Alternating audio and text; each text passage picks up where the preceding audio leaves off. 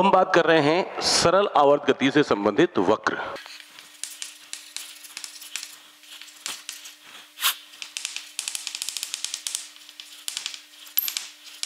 Graphs related to सरल आवर्त गति। सिंपल हार्मोनिक मोशन राइट अब सुनो जरा बात को। कण की स्थिति का समय के रूप में फलन क्या था? ओमेगा टी प्लस फाइव यदि कण t बराबर ज़ीरो पर मीन पोजीशन यानी कि माध्य स्थिति पर हो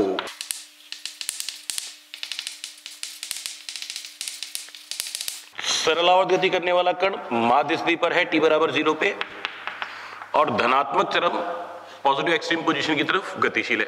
तो क्या हो जाएगा? कलांतर, प्रारंभिक कला क्या हो जाएगी? ज़ीरो। प्रारंभिक कला ज़ीरो हो गई तो समीकरण क्या हो जाएगी? X equals to A sine of omega T है ना? तो कण के वेग की समीकरण क्या होगी? V equals to A omega cos omega T और त्वरण की समीकरण क्या हो जाएगी? माइनस का A omega square sine omega T तो सबसे पहला जो मैं ग्राफ प्लॉट कर रहा हूँ, वो ग्राफ किस किस के बीच में प्लॉट करने हैं?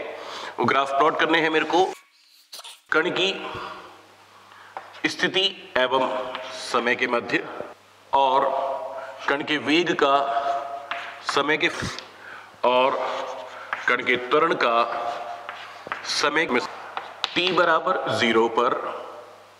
ये रेखा किसके लिए बताई गई है? जब समय ज़ीरो है, उधर जाएँगे तो समय बढ़ेगा। ये रेखा बताई गई है t equals to capital T by four के लिए। ये रेखा t equals to capital T by two के लिए। ये रेखा t equals to three T by four के लिए और ये रेखा t equals to capital T के लिए। राइट ये ग्राफ बनाएँगे हम लोग, है ना? तो उससे पहले हम यहाँ पे कुछ टाइम के साथ साथ सबकी वैल्यूज़ किस तरह से चेंज होगी उसके लिए एक टेबल बना रहा हूँ। सबसे पहले टाइम फिर ओमेगा टी की वैल्यू के लिए। फिर साइन ओमेगा टी, फिर कॉस ओमेगा टी और फिर X equals to A sine omega T कण की स्थिति के लिए, फिर वेग के लिए v equals to A omega cos omega T के लिए ग्राफ के वैल्यूज़ और लास्ट में a equals to minus A omega square sine omega T के लिए। Right okay T equals to zero पे ओमेगा टी की वैल्यू भी ज़ीरो। ओमेगा टी की वैल्यू ज़ीरो तो साइन ओमेगा टी यानी साइन ज़ीरो यानी कि ज़ीरो। कॉस ओमेगा टी यानी कि कॉस ज़ीरो यानी कि एक। जब साइन ओमेगा टी की वैल्यू ज़ीरो गई तो यहाँ पे कण की स्थिति कितनी हो जाएगी? ज़ीरो। जब कॉस ओमेगा टी की वैल्यू कितनी हो जाएगी? एक। एक कैसी वैल्यू तो कॉस की? अधिकतम वैल्यू, अधिकतम मान। और कॉस ओमेगा टी अधिकतम है तो वेग भी क्या हो जाएगा? अधिकतम। कितना? ए ओमेगा, क्योंकि कॉस ओमेगा का मान कितना है? एक। और त्वरण कितना हो जाएगा? ज़ीरो। आगे चलिए। एट एज टाइम इंक्रीजेस जैसे जैसे समय बढ़ेगा टाइम कहाँ से कहाँ तक इंक्रीज कर रहे हैं? टी इक्वल्स टू ज़ीरो से T equals to capital T by four पे। ठीक है जी, जरा समझो पहले। पहले बात तो ये करें कि t equals to capital T by four पर ओमेगा टी की वैल्यू कितनी आएगी? ओमेगा की वैल्यू क्या लिखते हो? Two pi by capital T और टाइम क्या लिखने वाले हो? T बाय फोर टी से t कैंसिल हुआ टू से कैंसिल हुआ फोर तो ओमेगा टी कितना आ जाएगा? पाई बाय टू तो जब t की वैल्यू ज़ीरो से t बाई फोर तक इंक्रीज होगी तो ओमेगा टी की वैल्यू क्या होगी? ज़ीरो से पाई बाय टू तक इंक्रीज होगी, यानी कि 90 डिग्री तक। और ये अगर 90 डिग्री तक इंक्रीज होगा तो साइन ओमेगा टी तो क्या होगा? इंक्रीज होगा। क्यों? थीटा बढ़ने पे साइन की वैल्यू इंक्रीज होती है। बट कॉस ओमेगा टी की वैल्यू क्या होगी? डिक्रीज होगी, यानी कि घटेगी। तो कण की स्थिति भी विस्थापन, माध्य विस्थापन बढ़ेगा। पर कण की का वेग घटेगा और त्वरण का नेगेटिव मान बढ़ेगा। बोलो बात सही है। अगली बात करें। At T equals to capital T by four T by four पे ओमेगा टी की value pi by two sine pi by two sine pi by two sine pi by two यानी कि साइन नाइनटी साइन नाइनटी यानी कि एक। Cos omega T यानी कि cos pi by two cos pi by two यानी कि cos ninety cos ninety यानी कि ज़ीरो तो कण कहाँ पहुँच गया? धनात्मक चरम स्थिति पे प्लस ए कण का वेग कॉस ओमेगा टी का है ज़ीरो तो कण का वेग हो जाएगा ज़ीरो और त्वरण कितना हो जाएगा? माइनस का ए ओमेगा स्क्वायर परंतु त्वरण का परिमाण क्या रहेगा? मैक्सिमम यानी कि ए ओमेगा स्क्वायर ये सुनो माइनस साइन तो वैसे भी क्या बदल रहा है? सिर्फ़ दिशा को। आगे आ जाओ। At t equals to t by two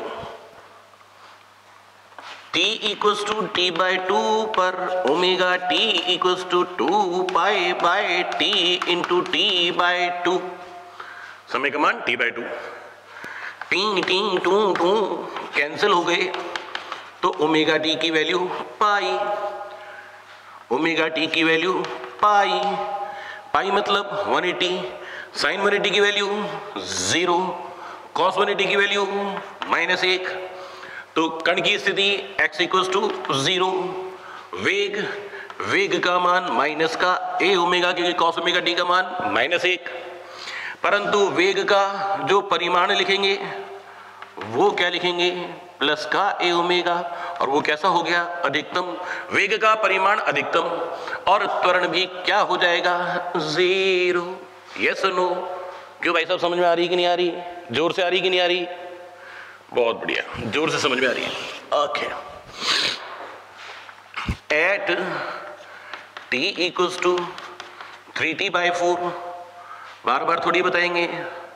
आप क्या देख रहे हैं, जब समय टी बाई फोर इंक्रीज होता है तो कला ओमेगा टी की वैल्यू पाई बाय टू से इंक्रीज होती है। देखो, फिर से समय टी बाई फोर इंक्रीज हुआ ओमेगा टी की वैल्यू पाई बाय टू से इंक्रीज हुई तो यहाँ पे पाई बाय टू और इंक्रीज होकर क्या हो जानी चाहिए? Omega T equals to three pi by two नहीं मानो तो करके देख लो ओमेगा की value two pi by T समय थ्री टी बाई फोर तो ये थ्री पाई बाई टू ही आएगा।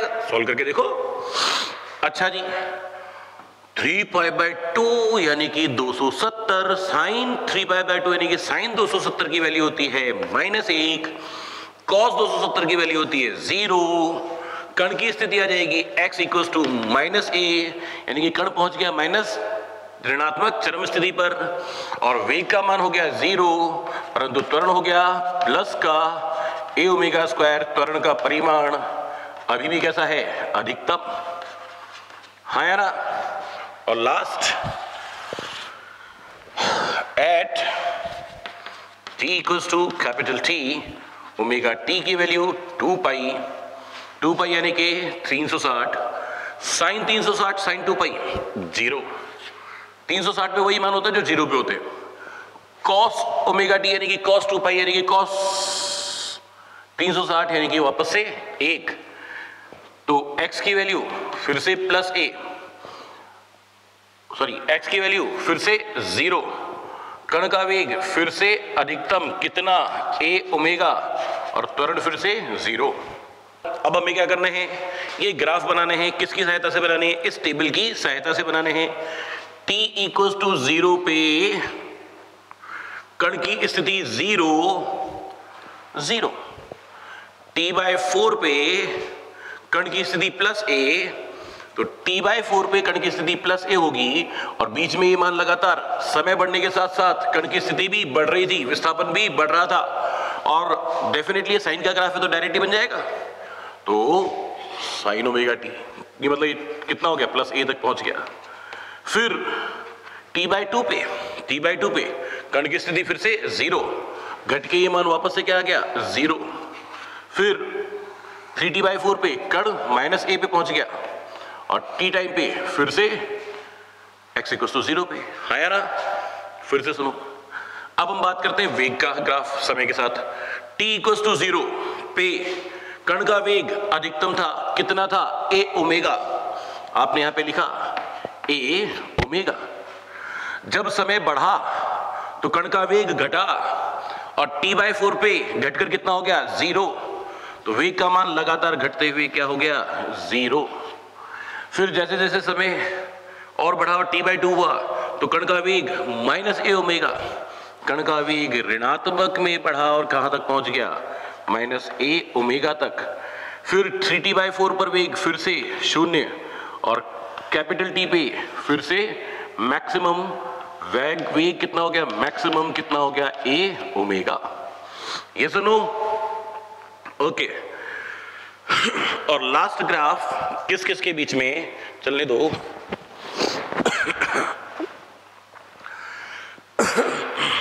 कण का त्वरण और समय के बीच में टी इक्व ज़ीरो पे त्वरण ज़ीरो समय बढ़ने के साथ साथ त्वरण का ऋणात्मक मान बढ़ रहा था। और टी बाय फोर पर त्वरण माइनस का omega square T equal zero पे त्वरण ज़ीरो फिर ऋणात्मक मान बढ़ा। टी बाई फोर पे त्वरण क्या हो गया? अधिकतम कितना? ऋणात्मक में अधिकतम माइनस का ए ओमेगा स्क्वायर फिर त्वरण घटकर ज़ीरो फिर त्वरण का मान प्लस ए ओमेगा स्क्वायर और फिर ज़ीरो बोलिए बात सबको क्लियर है क्या? यस ओके अब अपने को यहाँ पर इन ग्राफ से संबंधित क्या निकालने कुछ कंक्लूजन की बात करनी है। यानी कि निष्कर्ष। इन ग्राफ से। क्या पहली बात?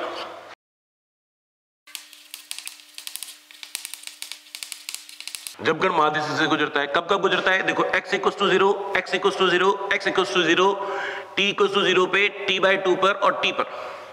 तो at t equal to zero T by two and capital T पर। कण की स्थिति क्या थी? ज़ीरो यानी कि माध्य से कण गुजर रहा था। तब वेग का क्या आलम था? कण की वेग की क्या स्थिति थी? कण जब माध्य स्थिति में था तो वेग अधिकतम था। कण जब वापस से माध्य स्थिति में था तो कण के वेग का मान ऋणात्मक में अधिकतम था।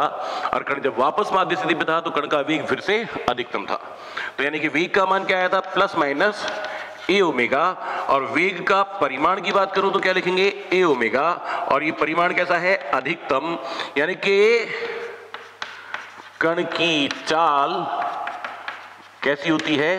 अधिकतम होती है। जब कभी कण सरल आवर्त गति कर रहा कण जब कभी माध्य स्थिति से गुजरेगा तो कण की चाल अधिकतम होगी। क्यों होगी? कण अपनी धरात्मक चरम से चला। जब धनात्मक चरम पे है तो विस्थापन उस तरफ़ और बल इस तरफ़। इस तरफ़ बल लग रहा है तो बल इस तरफ़ लगातार आते आते आते आते आते वेग बढ़ेगा और माध्य स्थिति पे वेग क्या हो जाएगा? अधिकतम। क्यों? क्योंकि यहाँ से जैसे ही क्रॉस करके जाएगा तो विस्थापन उधर और बल विपरीत। बहुमती दोनों शुरू हो जाएगा तो यहाँ पे भी क्या होगा? अधिकतम। यह सुनो। और त्वरण के बारे में बात करें तो कण माध्य स्थिति में था, त्वरण शून्य था, कण फिर से माध्य स्थिति में था, त्वरण फिर से शून्य था, कण फिर से माध्य स्थिति में था, त्वरण फिर से शून्य था। यस यानी कि acceleration will remain zero second case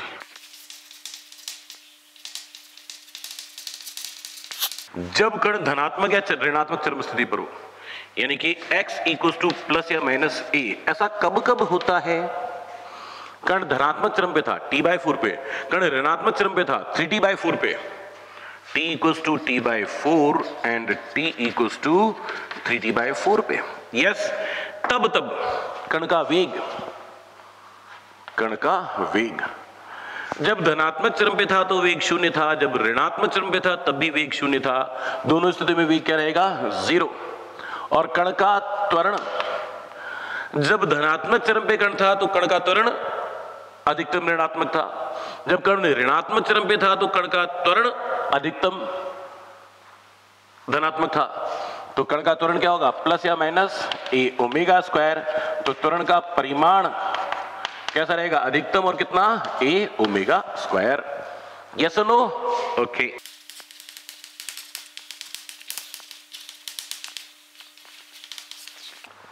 कण की गतिज ऊर्जा और समय के मध्य ग्राफ बनाना है काइनेटिक एनर्जी क्या लिखोगे? Half K A square cos square omega T क्योंकि फाइव तो आपने ज़ीरो माना है, क्योंकि टी बराबर ज़ीरो पर एक्स इक्वल टू ज़ीरो है। ये तो बात की थी अपने ग्राफ बनाने के लिए राइट तो एक तरफ़ मैं लेने वाला हूँ गतिज ऊर्जा दूसरी तरफ़ लेने वाला हूँ समय। परंतु अब ग्राफ थोड़ा सा अलग है। पिछली बार अभी जो स्थिति, वेग और त्वरण के जो ग्राफ बनाए थे, उसमें सीधे कॉस थीटा या सीधे साइन थीटा था। तो सीधे सीधे जो ग्राफ बने थे, वो साइन जैसे या कॉस जैसे बनने थे। राइट पर अब यहाँ पे स्क्वायर है। तो ग्राफ साइन जैसे या कॉस जैसे बनेगी कोई ज़रूरी नहीं है। दूसरी बात इधर वेग, इधर समय। ये ग्राफ ऐसा बना था क्या? यस इस केस में आपका वेग ऋणात्मक भी होता था, पर वेग ऋणात्मक भी हो तो गति ऊर्जा तो धनात्मक रहेगी। कॉस ओमेगा टी का मान ऋणात्मक भी होगा तो यहाँ कॉस स्क्वायर का कॉस का स्क्वायर है। स्क्वायर है तो वैल्यूज़ क्या वापस हो जाएँगी? वापस से धनात्मक हो जाएँगी। तीसरी बात। जैसे जैसे समय बढ़ेगा, वैसे वैसे ओमेगा टी का मान बढ़ेगा बट कॉस ओमेगा टी का मान घटेगा, इसलिए कॉस स्क्वायर ओमेगा टी का मान भी घटेगा। और कॉस स्क्वायर ओमेगा टी का मान घटेगा तो गतिज ऊर्जा भी घटेगी। और गतिज ऊर्जा घटेगी तो आप ग्राफ ऐसा बनाएँगे घटते हुए या ऐसा बनाएँगे? ये कैसे डिसाइड हो? तो ये डिसाइड करने के लिए मुझे क्या चाहिए यहाँ पर? स्लोप ऑफ़ कर्व क्या चाहिए? वक्र का ढाल राइट गतिज ऊर्जा इधर क्या ले रहे हैं? समय। समय बढ़ेगा तो गति ऊर्जा का मान परिवर्तित होगा और इस वक्र का ढाल कैसे लिखेंगे? वक्र का ढाल लिखा जाएगा डी के ई अपॉन डी टी क्या लिखते हैं किसी भी ग्राफ का slope? D Y by D X D Y by D X Y की जगह कौन है? कैनेटिक एनर्जी तो डी के ई अपॉन डी टी लिखा जाएगा। हाँ ना? तो पहले स्लोप निकालते हैं। क्या लिखेंगे? D K E upon D T d upon dt equals to half k a square cos square omega t. Half constant k constant a square constant cos square omega T का अवकलन. Two O ओ, देखना जी, चलो लिख देता हूँ. D upon D T of cos omega T का whole square cos omega T को आपने मनी मन में t माना। ये हो जाएगा टी स्क्वायर टी स्क्वायर का अवकलन क्या लिखते हैं? हाफ़ के ए स्क्वायर टू टी यानी कि टू कॉस ओमेगा टी और जिसको मनी मन में टी माना था, उसका फिर से अवकलन। तो कॉस का अवकलन क्या होता है? माइनस का sine of omega t into omega am I right तो क्या लिखेंगे? D K E upon d t equals to minus का one by two k A square omega into into two sine omega t cos omega t two sine A cos A sine two A यानी कि D के ई upon D T की जो आपके पास value आ रही है, वो क्या आ रही है? माइनस में एक बटा दो k A square omega two sine two omega t. Time बढ़ेगा तो टू ओमेगा टी भी बढ़ेगा, और टू ओमेगा टी बढ़ेगा तो साइन टू ओमेगा टी की वैल्यू भी बढ़ेगी, और साइन टू ओमेगा टी की वैल्यू बढ़ेगी तो स्लोप ऑफ़ कर्व, यानी कि डी के ई अपॉन डी टी भी बढ़ेगा बट स्लोप कैसा होगा? नेगेटिव होगा। देखो माइनस साइन है। तो इन दोनों ग्राफ में स्लोप तो नेगेटिव है, समझ में आ रहा है। परंतु इस वाले ग्राफ में देखो, यहाँ पे एक स्पर्शरेखा खींचो, ये स्पर्शरेखा। यहाँ पे स्पर्शरेखा खींचो, ये स्पर्शरेखा। बताओ किसका ढाल ज़्यादा है? इसका ढाल कम है, इसका ढाल ज़्यादा है और हमें कैसा चाहिए? जिसमें समय बढ़ने पर ढाल बढ़कर प्राप्त हो तो कौन सा ग्राफ बनाएँगे? ये वाला बनाएँगे, ये वाला नहीं बनाएँगे। बोलो हाँ या ना? यस सुनो जरा। इधर काइनेटिक एनर्जी इधर time t equals to zero पे ओमेगा टी की वैल्यू ज़ीरो ओमेगा टी की वैल्यू ज़ीरो तो कॉस ज़ीरो कॉस ज़ीरो की वैल्यू वन वन का स्क्वायर भी वन तो काइनेटिक एनर्जी क्या हो जाएगी? टी इक्वल टू ज़ीरो पर काइनेटिक एनर्जी मैक्सिमम होगी, कितनी होगी? हाफ़ के ए स्क्वायर जैसे जैसे टाइम बढ़ेगा t equal to t by four पे।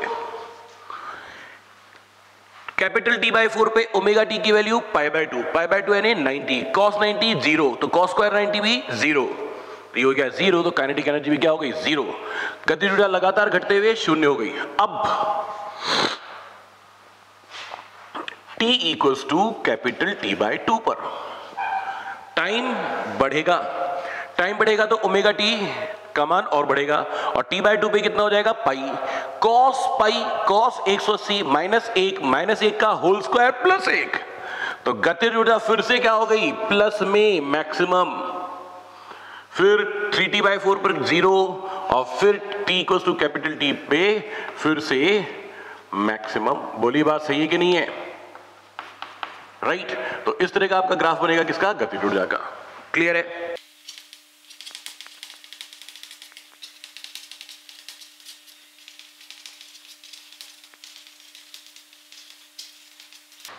अब क्या बनाना है? कण की स्थितिज ऊर्जा और समय के मध्य वक्र। स्थितिज ऊर्जा का graph sorry formula half k A square sine square omega t क्योंकि प्रारंभिक कला को तो आपने फाइव को तो ज़ीरो मान लिया था। इसमें भी साइन का स्क्वायर है तो हमें पहले स्लोप चेक करना पड़ेगा। तो स्लोप ऑफ़ द कर्व यहाँ ग्राफ किस किस के बीच में बनाओगे? कण की स्थितिज ऊर्जा और समय के मध्य। तो स्लोप क्या होगा? D U upon d t slope बराबर d U upon d t half constant k constant A square constant, अवकलन किया किसका? साइन ओमेगा टी का होल स्क्वायर है ना? जब इसका होल स्क्वायर करोगे तो क्या आएगा? D U upon d t equals to half same k A square same sine omega t को आपने माना मनी मन में टी तो ये टी स्क्वायर टी स्क्वायर का अवकलन टू टी यानी कि टू साइन ओमेगा टी जिसको मनी मन में टी माना था, उसका अवकलन, यानी कि साइन ओमेगा टी का अवकलन. कॉस ओमेगा टी और इसका गुणक कौन? ओमेगा तो बाद में ओमेगा से गुणा. तो d U upon d t is half k A square omega, ये वाला ओमेगा लिख दिया। Two sine A, cos A, sine two omega t. Number एक, स्लोप, यानी कि d upon d t. Positive है तो जो भी ग्राफ बनेगा उसका ढाल धनात्मक रहेगा। नंबर दो, टाइम बढ़ने पर स्लोप की वैल्यू भी बढ़ेगी। टाइम बढ़ेगा तो टू ओमेगा टी बढ़ेगा, टू ओमेगा टी बढ़ेगा तो साइन टू ओमेगा टी की वैल्यू बढ़ेगी, साइन टू ओमेगा टी की वैल्यू बढ़ेगी। मतलब वक्र का ढाल भी बढ़ेगा। जरा अब ये फिर से देखो, फिर कंफ्यूजन कि सर ग्राफ ये बनाऊँ कि ये बनाऊँ। अब आप स्पर्शेखा चाहे इस पे खींचो, चाहे इस पे खींचो, दोनों के वक्र के ढाल स्पर्श रेखा का ढाल दोनों केसेस में धनात्मक है। तो ये भी बन सकता है, ये भी बन सकता है। परंतु हमें ऐसा वक्र बनाना है जिसमें समय बढ़ने पर वक्र का ढाल बढ़ता हो। जिसमें समय बढ़ने पर वक्र का ढाल बढ़ता हो। बढ़ाओ जी। हाँ जी। इधर u इधर t अगर मैं ये ग्राफ बनाऊँ तो यहाँ पे वक्र का ढाल ज़्यादा है, यहाँ पे वक्र का ढाल कम है यानी कि समय बढ़ने पर, समय बढ़ने पर वक्र का ढाल घट रहा है। जबकि समय बढ़ने पर वक्र का ढाल बढ़ना चाहिए। मतलब ये वाला ग्राफ गलत है। तो क्या? तो कौन सा बनेगा? ये वाला ग्राफ। इधर u, इधर t, यहाँ पे ढाल। एक ही चीज़ पर स्पर्शेखा इसके लिए कौन कम है? यहाँ पे खींची स्पर्शेखा ये वाला कौन ज़्यादा है, यानी कि समय बढ़ने पर वक्र का ढाल बढ़ रहा है। समय बढ़ने पर वक्र का ढाल बढ़ रहा है, यानी कि ग्राफ कैसा बनेगा? ऐसे बनेगा। बोली बात क्लियर है क्या? ये बहुत इंपॉर्टेंट बात है। हालाँकि एक बार पढ़ने के बाद हम ये याद रख सकते हैं कि काइनेटिक एनर्जी का ग्राफ ऐसा बनेगा और पोटेंशियल एनर्जी का ग्राफ कैसा बनेगा। ये हम याद रख सकते हैं। पर ये आया कैसे, ये भी तो समझ में आना ज़रूरी है। अरे ये सुनो। चलो जी। तो अब फाइनली अपन स्थितिज ऊर्जा और समय का ग्राफ बनाएँगे। टी इक्वल टू ज़ीरो तो ओमेगा टी भी ज़ीरो ओमेगा टी ज़ीरो तो साइन ज़ीरो की वैल्यू ज़ीरो तो स्थितिज ऊर्जा भी ज़ीरो समय बढ़ेगा तो ओमेगा टी बढ़ेगा ओमेगा टी बढ़ेगा तो साइन ओमेगा टी भी बढ़ेगा तो स्थिति ऊर्जा भी बढ़ेगी। ये t equals to t by four पे। T equals to t by four लिखो। टी बाय फोर पे ओमेगा टी की value pi by two pi by two मतलब 90 साइन 90 की वैल्यू एक एक का स्क्वायर एक स्थिर ऊर्जा, अधिकतम कितनी? Half k A square right अब t equals to t by two पर t की वैल्यू t बाई टू तो ओमेगा t की वैल्यू पाई पाई मतलब 180 साइन पाई की वैल्यू साइन 180 की वैल्यू ज़ीरो तो इससे ऊर्जा घटकर फिर से क्या आ गई? Zero t equals to three t by four पे। T की value three t by two four omega t की value three pi by two three pi by two मतलब 270 साइन 270 की वैल्यू माइनस एक। और यहाँ पे क्या हो रहा है? स्क्वायर तो माइनस एक का स्क्वायर प्लस तो इससे ऊर्जा वापस से क्या हो जाएगी? मैक्सिमम और t equals to capital T पे, t equals to capital T पे ओमेगा टी की value pi two pi two pi मतलब 360 साइन 360 बराबर साइन ज़ीरो साइन ज़ीरो का मान ज़ीरो तो इस पूरी की वैल्यू क्या हो गई? ज़ीरो तो स्थिर ऊर्जा भी क्या हो जाएगी? घटकर ज़ीरो हाँ या ना? ये बात सबको क्लियर है?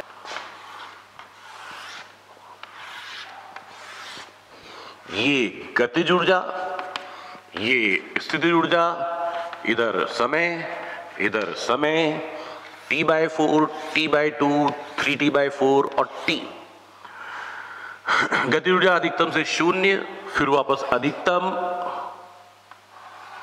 और फिर शून्य, और फिर अधिकतम। ऐसा ही ग्राफ बना था। स्थिर ऊर्जा, पहले शून्य, फिर अधिकतम, फिर शून्य, फिर अधिकतम, फिर शून्य। ये अधिकतम हाँ ना? बोलिए, अधिकतम गति ऊर्जा कितनी थी? Kinetic energy maximum equals to था हाफ़ के ए स्क्वायर स्थिर ऊर्जा पोटेंशियल एनर्जी मैक्सिमम कितना था? हाफ़ के ए स्क्वायर बोलिए बात क्लियर है सबको? Yes okay